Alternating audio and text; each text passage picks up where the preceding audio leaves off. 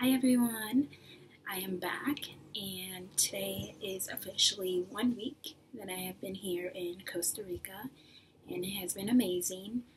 Um, one thing is that it is raining quite a lot in the afternoons, so bringing the umbrella was a good choice.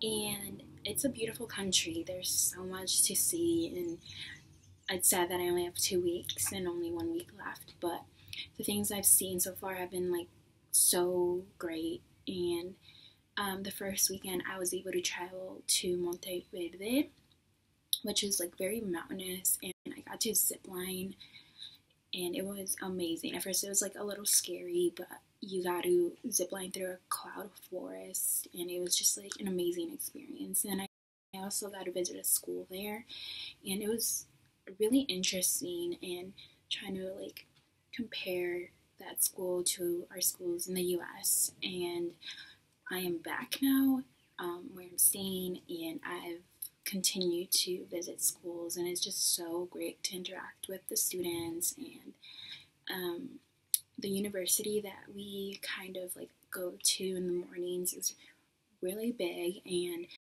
uh, we walk through like this bridge thing, and it's just like amazing. This country is really beautiful, and um, this upcoming weekend I get to go to the beach, which I'm really excited about, and um, and then every day in this week I continue to go to school, so I'm really excited to keep interacting with the students and finding out more about their school system here. Um, with the food, they eat a lot of rice and beans. That's like a staple in every meal. So I've been eating a lot of that, along with like chicken.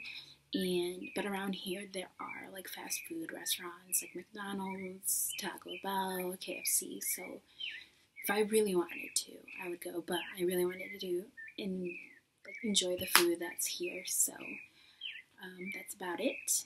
And I'll see you next time.